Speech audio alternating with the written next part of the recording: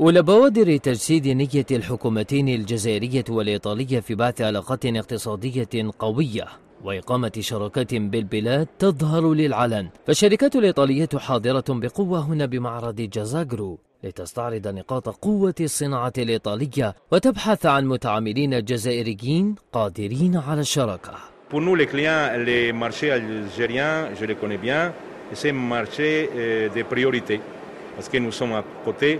La mentalité, ce n'est pas très différent.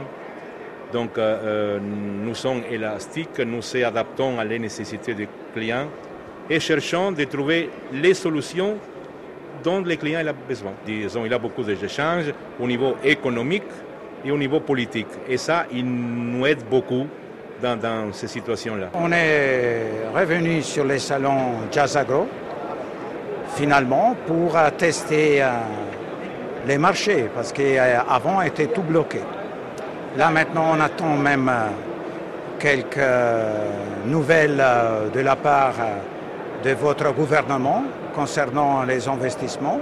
خطوة أخرى تدعم هذا الطرح فالخرجة الميدانية للوفد البرلماني الإيطالي إلى الجزائر وبالتحديد إلى المنطقة الصناعية للبوليدة ووقوفهم على مميزات قانون الاستثمار والشراكة بين الطرفين رسالة واضحة عنوانها العريض الشروع في تنفيذ توجيهات الحكومتين خلال الزيارة الأخيرة.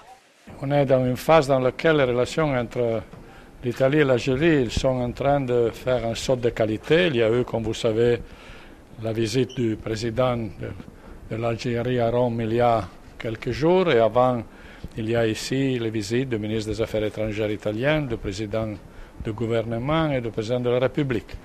Tout ça souligne la volonté mutuelle de renforcer nos coopérations et un des piliers de cette coopération, c'est le développement industriel le développement économique.